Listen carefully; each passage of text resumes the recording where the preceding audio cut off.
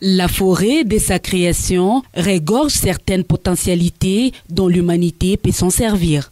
Éveiller la conscience de, nos populations sur ce que euh, l'importance des forêts et aussi encourager des actions qui visent à préserver, à protéger nos forêts. Michel Rand appelle la population lolabaise à capitaliser leur énergie pour la protection de forêts qui jouent un rôle capital dans la survie de l'homme. Nous avons quelques forêts ici des forêts de Miyombo qu'on a ici.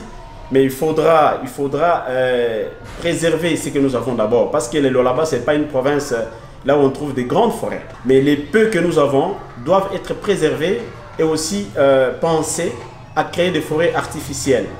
N'est-ce pas? Là où les entreprises sont en train d'abattre les arbres, nous devons penser comment créer des forêts artificielles par le reboisement. Donc c'est possible. Idée renchérie par Charles Chisola. Il est utile à la population, mais son exploitation n'est pas bien maîtrisée. Euh, il nous faut une politique euh, générale guidée par les autorités provinciales. C'est-à-dire qu'il faut que tout le monde soit dans l'objectif du chef de l'État. Atteindre un milliard d'arbres quand on dit un milliard d'arbres, chaque Congolais, et particulièrement chaque Loalabé, a le devoir et l'obligation d'accompagner le chef de l'État en plantant au moins chaque année une à cinq arbres.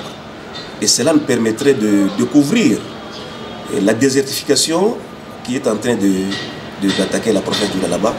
Le 21 mars de l'année, l'humanité tourne son regard sur la forêt. Pour l'année 2024, les thèmes retenus est innovation neuve, solutions pour un monde nouveau.